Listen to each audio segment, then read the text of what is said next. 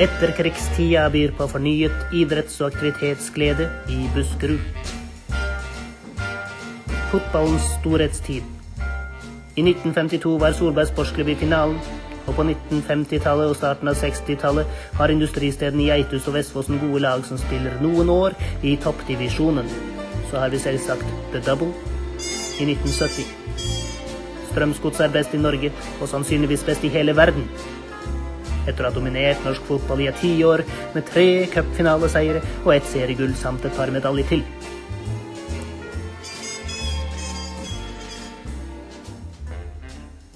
Dette er også starten på storhetsperioden for den typiske nedre Buskerud-idretten bandy, der Drammen og Eiker ofte hadde 60% av lagene i den øverste divisjonen. Her med klipp fra Solberg Sportsklubb sin seier i 1990. Ole Blom kalles ikke lenger Ole Bom etter denne bragden.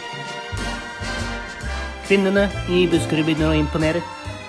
Gro Sandberg er bare 16 år da han marsjerer inn på Olympiastadion i München med en enorm lykkefølelse over han nådde et stort mål sammen med klubbvenninnen Sissel Eckholm.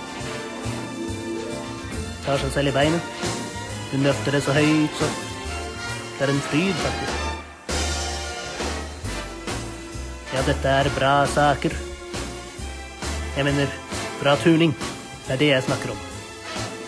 Friidrett har også en stor periode disse årene. Under en håndballkamp på Brakerøya var det noen leder fra IF Hellas som la merke til den spenstige gutten Bjørn Torkelsen, som får NM-gull og rekord i høyde. Hellas Sturla, Kongsberg og Ringerike byr på topputøvere på 60- og 70-tallet. Kanskje toppet av Per Halles syvendeplass på 5000 meter i OL, og Stålengens fjerdeplass på verdensstatistikken i hinder.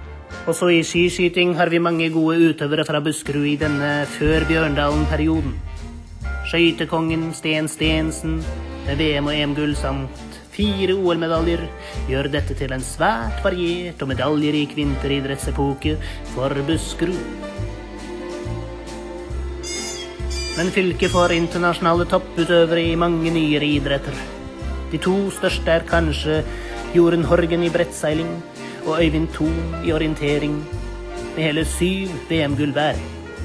Flere oløpere fra fylket hevder seg, og det gjør også rosporten, der både Rolf Andreassen og Arne Bergodd i 1976 og senere Buskerud idrettskretsansatte Fredrik Bekken i 1996 tar OL-sølv.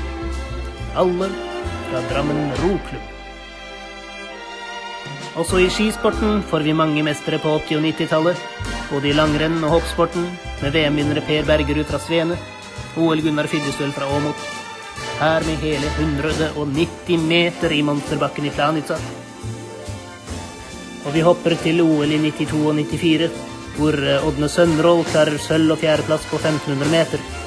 Men i 1998 klaffer alt i siste sving, og han vinner OL-gull med ny verdensrekord. For en bragd! Håndball markerer seg som en stor Buskerud-idrett. Både Simostranda og Glassverket er i toppen for damene. Og på 90-tallet blir Drammen håndballklubb landets beste herrelag.